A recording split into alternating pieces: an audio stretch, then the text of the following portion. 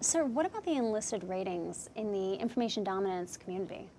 Uh, well, I'll tell you what, if I was a kid coming out of high school or college and you come in, you say, you know, I'm really interested in something high tech moving ahead.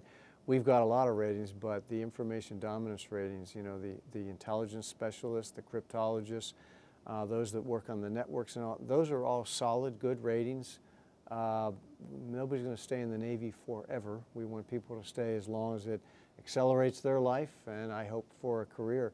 But it is a, it is a relevant, uh, good way to, to serve. Uh, it's also a relevant, good way to develop a skill set that is good for a long time. We teach our folks down at Corry Station, uh, which is down in Pensacola, Florida. Uh, it is a, uh, like I said, it's a growing institution, if you will. And by the way, we've, we've frequently talked about budget in, on this program. Uh, one budget cut we have never made in the last three or four years when things have been tight is in cyber. We've, even through sequestration, remember, every budget went down, that was exempted. We continue to invest in cyber.